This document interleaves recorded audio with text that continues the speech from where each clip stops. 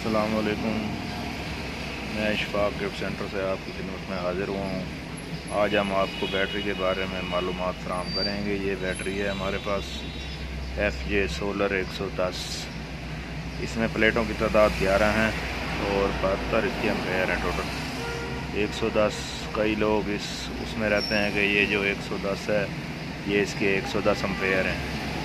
लेकिन ये गलत सोच है। दुकानदार को भी चाहिए कि आपको गाहक को सही गाइड करे। हम आपको इसकी प्राइस के बारे में बताएँगे और इसकी प्लेटें खोल कर दिखाएँगे। इस बैटरी की आजकल प्राइस चल रही है सतारह हज़ार रुपये ये इसकी नई प्राइस है। और नई प्राइस जानने के लिए आपको इसकी साइड पर प्राइस लिखी होती है यहाँ पर।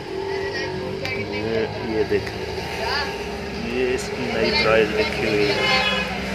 इससे आपको अंदाज़ा हो जाएगा कि ये नया स्टॉक है, या पुराना स्टॉक है। इस चीज़ को लाजमी आपने चेक करना है।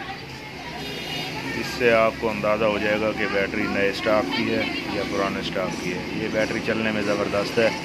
ये आप यूपीएस पे अगर एक पंखा चलाना है तो आप इसे यूपीएस पर भी चला सकते हैं। एक पंखा इस पंखा इस पर आपका तीन घंटे आराम से निकाल जाएगा।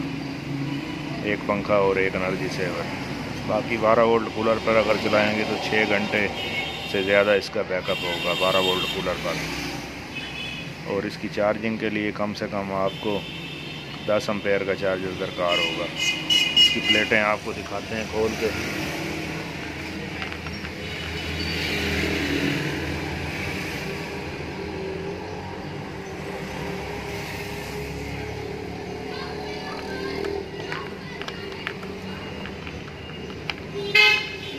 ये इसकी प्लेटें हैं।